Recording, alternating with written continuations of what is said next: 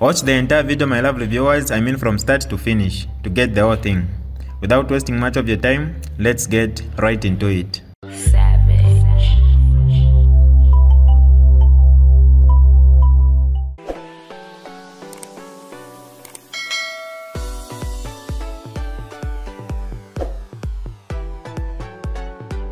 Hi lovely viewers, it's me again your one and only Mtati Mpundu. Welcome to my YouTube channel. If this is your first time on my channel, kindly subscribe to my YouTube channel by hitting the red subscribe button down below and turn the bell icon to join the notification squad. Don't forget to like, share and leave a comment. Tell me what you think about this video in the comment section below. I'll be super glad to hear from you lovely viewers. I know this has been swirling on social media, and I've got something to say about this. Today we're talking about the Mordecai and Chile One saga. Now, for those of you that, let's begin with Mordecai. The, the name Mordecai comes from the Old Testament in the book of Esther. There's a character in there named Mordecai. There's this young man, a young Zambian guy. I haven't heard his music, but lots of social media people have sort of vouched for him and said he's a really good kid. He's very good at what he does. And I've got no doubt. I'm, I imagine he does. But here's the problem I have with social media. Social media now, uh, it's, you're not letting kids become creative. You're putting them too far ahead before their time. You're not allowing them to grow through the process. You're turning them into superstars instantly without having to walk the walk. Are you hearing that? I mean, some of you, you hear one song and you think, oh, he's the greatest of all time. Let the kid become creative. I, I remember not too long ago, Beyonce, the famous Beyonce, said, you know, people don't people don't appreciate a body of work anymore. In the old days, you had to produce albums, entire albums over, over time to gain legitimacy in your craft, in your art of music and creation of music. Now you sing one line in a song, the whole Zambia just wakes up and says, Oh, he's the next greatest thing. He's the next best thing. He's the best thing that's ever happened to music. You're not allowing these kids to, to come out of their comfort zone, to explore, to take risks, to experience success and failure. You're turning them into mega superstars on Facebook and they haven't even proved themselves. I'm not saying this kid is bad. He's, I know he's awesome because many of you have said he's awesome. I know he is. But when you turn them into superstars before they've gone through, before they've been baptized in fire, and what I mean by that is before they've, they've, they've, they've walked their journey, don't turn kids into superstars before their time. Allow them to walk through the process. Come on, guys. And then you've got this thing now on social media. You're pitting them against each other. No, this one is better than this one. This one is better than this one. You, shouldn't do that. And, and, and I blame social media. It's, you know, back in those days, back in, in the, the, the early, the 80s, the 90s, kids didn't have to deal with this sort of thing. You had to prove yourself. You know, you have to, you have to prove your craft. You have to prove legitimacy of your craft. Not now. Now you just post a video, you sing four lines, and the whole country goes nuts. And they start saying, oh, he's the guys. Let these kids be kids. That's my point. All right. Um, let's talk about Chile One. Again, there's something that's going on with Chile One. Apparently, there's some people that are saying that he's singing somebody else's songs. Let's talk about intellectual property because I think this is a very, oh, look at that. I put a, a small I instead of a capital. Let me change that. You know, I've got this habit. I think I'm too much, I'm too much in a hurry, you know. Sometimes I do these things. I'll fix all this in post. And here it is. There it is. I'll fix it. I'll get it right in a moment. Boom. intellectual property. Let's talk about that. So the story is that apparently Chile One has been singing a song or singing some type of experience, and somebody is accusing him of stealing this song or this experience, and he's beginning to sing this song or this experience this song and experience that belongs to someone else. That's the rumor. That's the accusation. And I saw some lady on Facebook saying that no, we're very upset that Chile's singing these songs when he knows good and hell well these songs belong to somebody else. Which brings up the topic of intellectual property. This is a very, very important topic. Let's let's define intellectual property. It simply means the creations of the mind, such as inventions, uh, literary, artistic works, designs, symbols, names, and images used in commerce. So, for instance, if you write a song, you write song, a, a song, and then you go to the music studio, you create the song, you copyright the song, Okay, now let's define copyright because I know that's, you know, we have to define this every step of the way so that we are all on the same page. When you copyright, copyright simply means an exclusive legal right given to the originator. So, for instance, if I write a song, okay, I copyright it, I go to the studio legally, I say, This is my song, and I do all the requirements, I fulfill all the statutory requirements that make that song my song from a legal point of view. Not that's my song. You can't say that's my song, pakanwafye. For that song to be your song, you have to go through the legal process. You have to have copyrighted the song, not copywritten, copyrighted the song. You have to have copyrighted the song. Then legally, the song is yours. It belongs to you. So whenever somebody sings lines from your song or sings a tune from your song, you can legally sue them, take them to court and say, you show the court that, look, this, this is my copyrighted work. This person, uh, uh, fab- he's made copies of my song or sang lines from my song. It's big business. You know, you can't just wake up and start singing somebody's song or somebody's line. I'll give you a very uh, famous uh, example. Many years ago, Michael Jackson recorded an album called Thriller. Some of you know this. And there was a very famous song in there, Want to Be Starting Something. You remember that song? Somebody tell me in the comments, want to be starting something. You got to be starting something. You want to be starting something. You got to be starting something. To how to get over. Yeah, yeah. Get up, get under. Yeah, yeah. You're stuck in the middle. Yeah, yeah.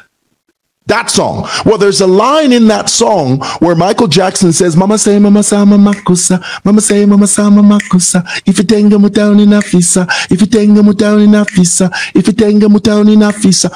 Now, that line Michael didn't originate that line. Just that line alone was in that song. That line came from a man by the name of Manu Dibango. And guess what Manu Dibango did?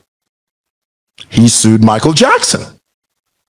He said, Mike, I'm sitting at home and I'm listening to the radio, and all of a sudden, it, your song comes on, want to be starting something, and then I recognize the line in your song. If you tenga mutauni na fisa, if you tenga mutauni fisa, mama say mama sa mama kusa, mama say mama sa mama kusa. Manu Dibango said to Mike, Mike, that's my line.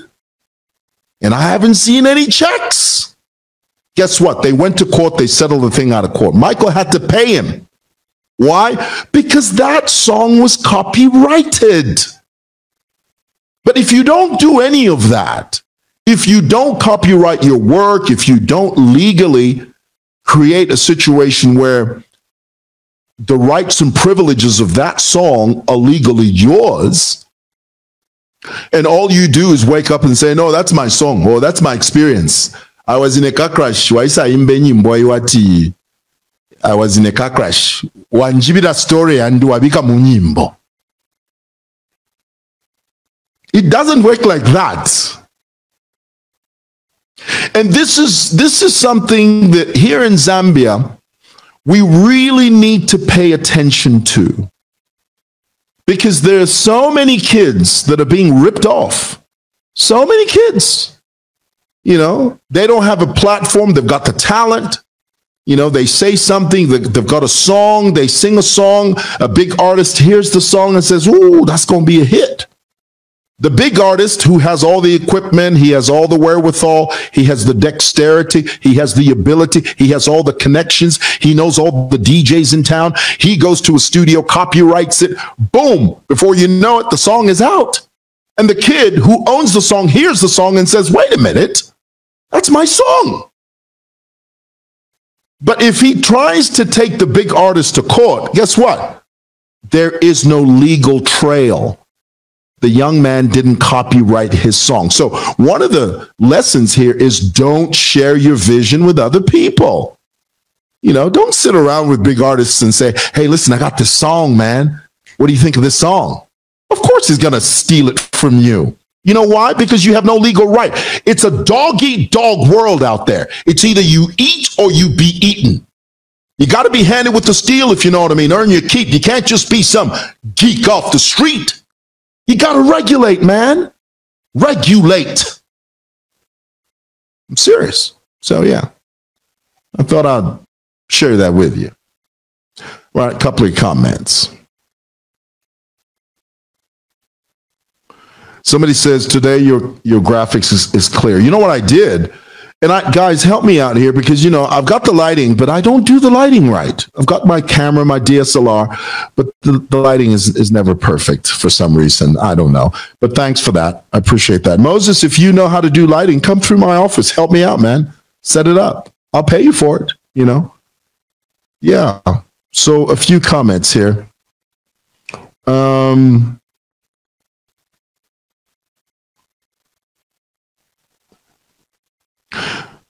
Good morning. Mordecai is the best in Zambia from Ebo Chungumusuka. Well, how, how do you quantify that? When you say the best in, what do you mean? There is no body of work. And, and let me also say, let me say something. All I'm saying is that people should prove themselves. They should walk the plank. They should yield themselves to the process. That's all I'm saying. You cannot be a superstar overnight. You have to have a track record.